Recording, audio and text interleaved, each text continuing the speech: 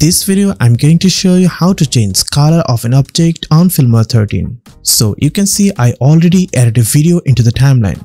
We'll try to change this red color. So for this, go effects section, then go NewBlue effects, then go filters and add these selective hue effects to this video.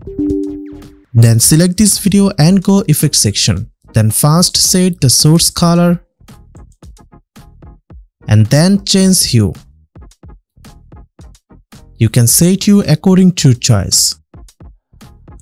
Also you can set saturation and you can also set the brightness. And then you can decrease some range for more better view. Then go down and increase some mask cleanup and decrease some mask size. So and you're done. And you can see our red color now changed. And also you can set invert for more cinematic view. For more tips and tricks, please subscribe to my channel.